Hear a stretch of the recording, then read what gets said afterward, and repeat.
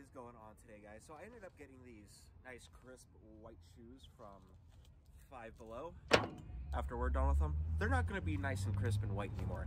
Um, just for the mere fact that skating, especially in the street, is not exactly something that keeps white shoes nice and clean. And I should know, since I've skated several white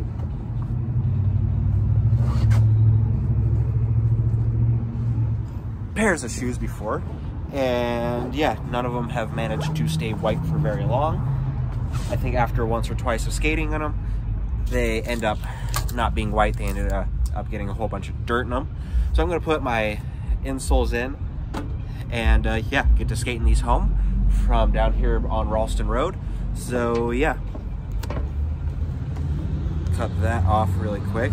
These are a size nine. Uh, I know Five Below used to do like uh, weird sizing thing where they did like a size 9 and 10 and just kind of lumped the sizes together, which doesn't look like they really do that anymore. It just says size size 9 here.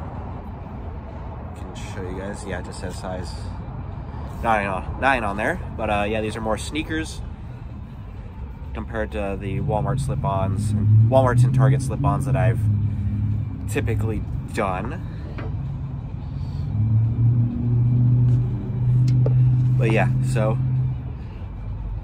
from what I remember, the, these shoes weren't all that comfortable, especially without an insole in them.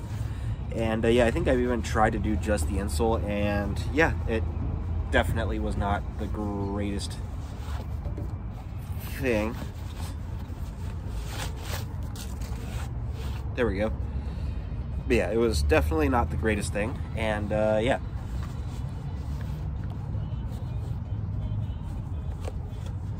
So,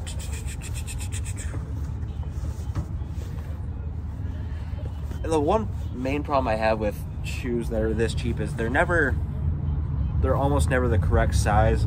These at least looked like they were the correct size. But like with Walmart shoes and whatnot, uh, sorry, I'm typically like a size 8 when I'm more typically a size 9. But yeah, that's just, I think, cheapness and cheap manufacturing.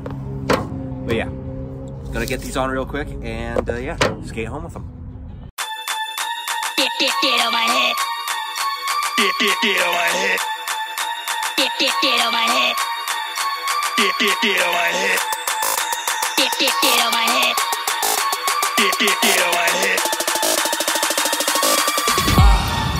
Get, get, get on my head.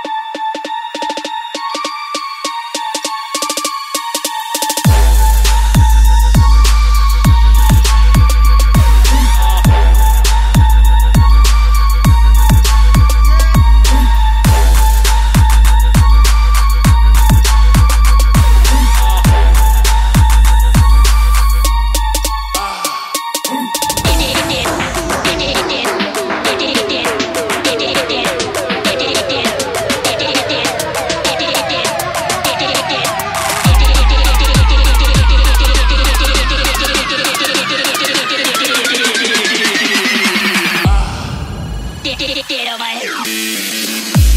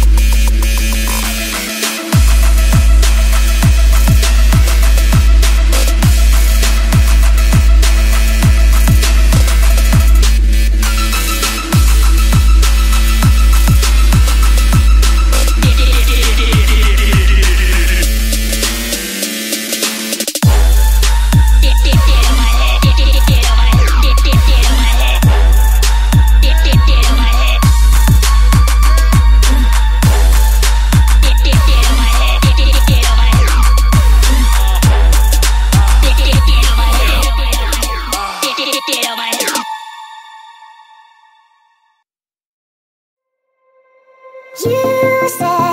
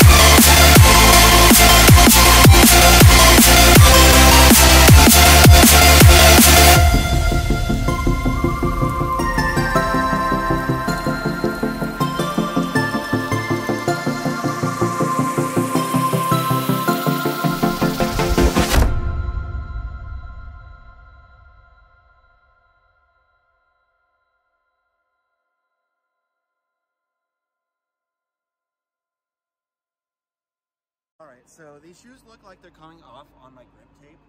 Don't know if you can see the little white patches on there. Not sure if that's from the shoes or from the like salt on the road, but uh, yeah, definitely not looking good for these shoes.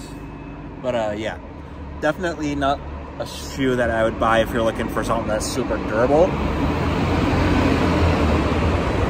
But if you're looking for something that like you need like stupid quick, then maybe I could see you justifying it. But other than that, not really.